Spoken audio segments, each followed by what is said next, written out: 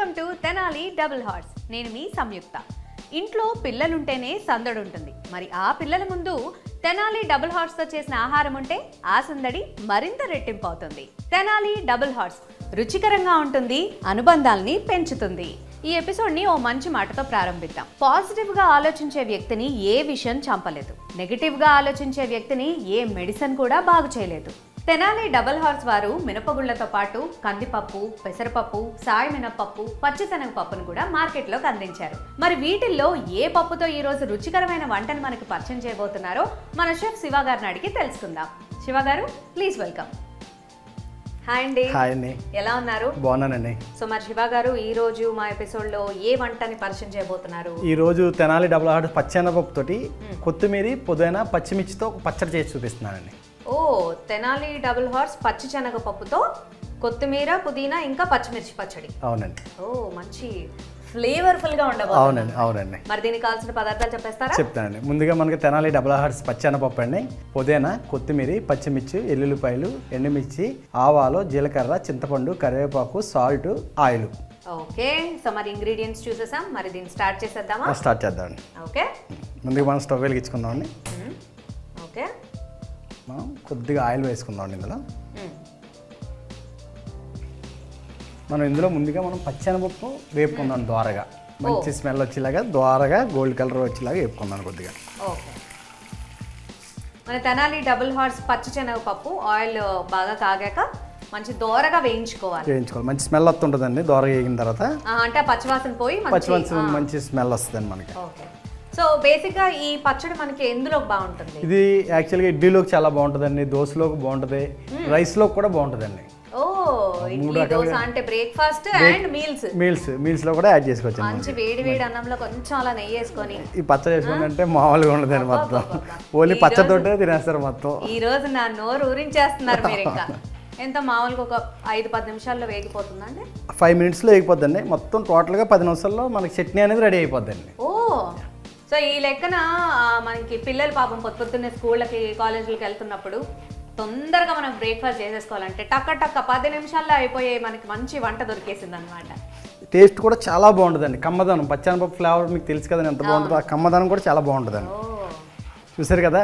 పప్పు ఎలా వేగిందండి? అవును. మంచి గోల్డెన్ కలర్ గోల్డెన్ కలర్లో వచ్చింది. స్మెల్ కూడా చూసారు కదా? స్మెల్ కూడా వస్తుంది మనకి ఆటోమేటిక్ అవును అవును ఇప్పుడు మనం ఇందులో మ్. కొద్దిగా పుదీనా అండి. పుదీనా. కొత్తిమీర. ఓకే. తర్వాత పచ్చిమిర్చి అండి పచ్చిమిర్చి మనకి కారం ఎంత కావాలో అంత మిక్స్ చేసుకోవచ్చు అండి మనం. ఎక్కువ కావాలనుకున్న వాళ్ళు ఎక్కువ వేసుకోవచ్చు తక్కువ కావాలనుకున్న వాళ్ళు తక్కువ వేసుకోవచ్చు మిర్చి అనేది. సో జనరల్గా కారం ఎక్కువ తినే వాళ్ళైతే కొంచెం పచ్చిమిర్చి ఎక్కువ వేసుకోవాలి. లేదు మీడియం అంటే దాన్ని బట్టి మనం పచ్చిమిర్చి బ్యాలెన్స్ చేసుకోవాలి. దీంట్లో కొద్దిగా వెల్లుల్లి వేద్దాం వెల్లుల్లి. వెల్లుల్లి అయితే ఫ్లేవర్ కూడా చాలా ఆ కమ్మదనం ఆ ఫ్లేవరు అసలు ఆ సువాసన అది వేరు వెల్లుల్లి అంటే.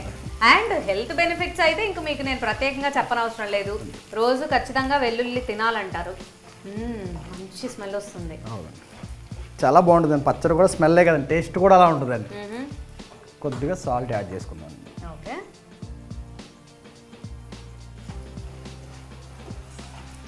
కొద్దిగా చింతపండు కూడా వేసుకుందాం ఇందులో. అంటే మామూలుగా మనం చట్నీల్లో చింతపండు ఆ, టేస్ట్ పులుపు కోసం అన్నట్టు కొద్దిగా వేసుకుంటాం కదా. కొద్దిగా ఎక్కువ కొద్దిగా జస్ట్ కొద్దిగా.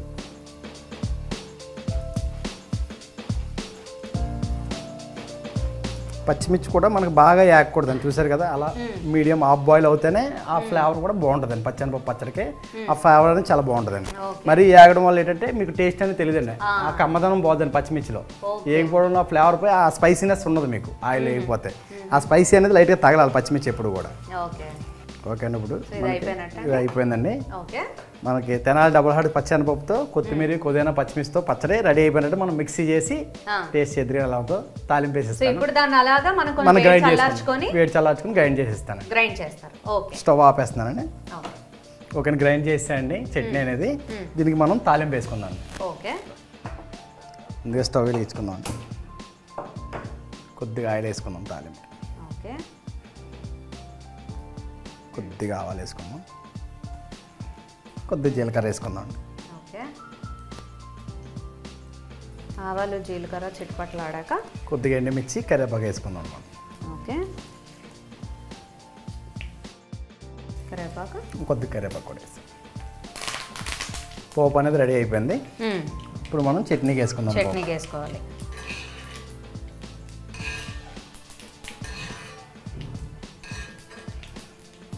ఒక ప్లేట్లో. తీసేస్తాం టేస్ట్ చేద్దరు కానీ ఎలా ఉందో చట్నీ. ఓకే మంచి కమ్మటి వాసన వస్తుంది. సో మీరు తొందరగా టేస్ట్ ఇచ్చేస్తే నేను తొందరగా టేస్ట్. చేస్తాను. తెనాలి డబుల్ హార్స్ వారి రిషిక నేతి బెల్లం సున్నుండలు మార్కెట్లో అవైలబుల్గా ఉన్నాయి. మీరు తప్పకుండా టేస్ట్ చేయండి. ఎంతో హెల్దీగా రుచిగా ఉంటాయి.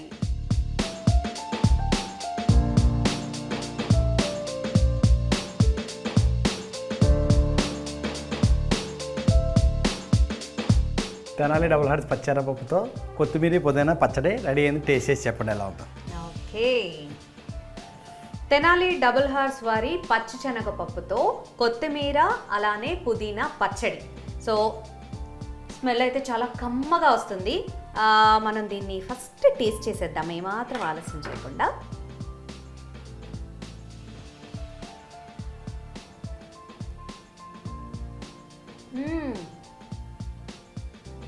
చాలా చాలా చాలా బాగుందండి. నిజంగా శివగారు మీరు చెప్పినట్టు ఇడ్లీలోకి దోశల్లోకి ఈవెన్ రైస్లో కూడా రైస్లో వేడి వేడి అన్నంలో కొంచెం అలా నెయ్యి వేసుకొని కొంచెం అలా చట్నీ వేసుకొని తింటే అద్భుతంగా ఉంటుంది కమ్మగా ఉంటుంది. మీరు తప్పకుండా ట్రై చేయండి. శివ గారు థ్యాంక్ యూ సో మచ్ అండి. అంటే చాలా సింపుల్గా అండ్ చాలా తొందరగా అయిపోయే పదార్థం. అంటే బ్రేక్ఫాస్ట్ టైంలో పొద్దు పొద్దున్నే చాలా హడావిడిలో ఉంటారు పాపం మదర్స్. వాళ్ళకు ఒక బెస్ట్ ఫేవర్ చేసినట్టే మనం ఈరోజు సో తొందరగా అయిపోతుంది అండ్ అలానే చాలా సింపుల్ రెసిపీ పెద్దగా ఇంగ్రీడియంట్స్ కూడా ఎక్కువేం లేదు. చాలా చాలా చాలా టేస్ట్గా ఉంది. Thank you so much Shiva గారు. థ్యాంక్ యూ అండి చూసారు కదండి తెనాలి డబుల్ హార్స్ వారి పచ్చిశనగ పప్పుతో చేసిన కొత్తిమీర అలానే పుదీనా పచ్చడి. చాలా చాలా రుచికరంగా ఉంది మీరు తప్పకుండా ట్రై చేయండి. అండ్ చాలా సింపుల్గా ఫాస్ట్గా అయిపోయే రెసిపీ కాబట్టి మరి ఇలాంటి రుచికరమైన రెసిపీలతో మళ్ళీ మీ ముందుకు వచ్చేస్తాను. Until then bye